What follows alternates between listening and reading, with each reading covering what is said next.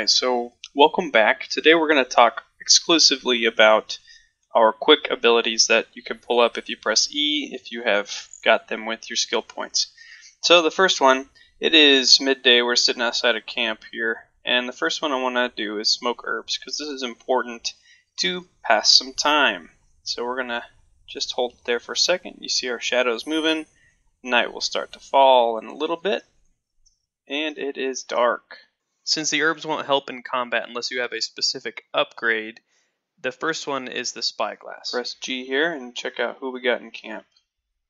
Got one guy there, another over there, few scattered. Kind of see the layout.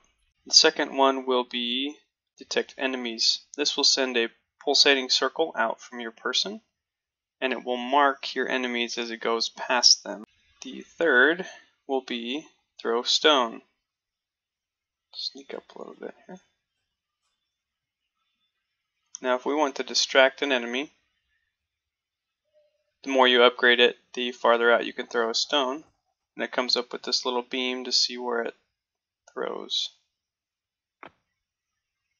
Hopefully that'll get somebody's attention.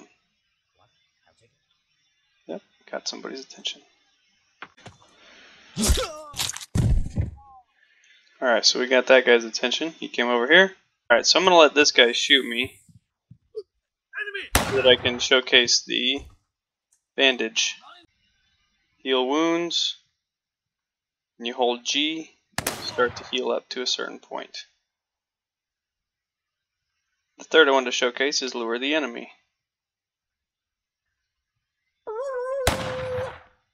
And then he'll come right up on you. Ah, ah.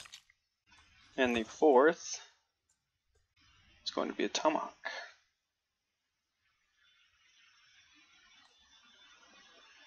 And this is free aim, so you gotta be careful. There we go. Got him. Have to go pick up my tomahawk now. And then concentration. Supposed to slow down time a bit to give you an advantage. And that's pretty much all we got.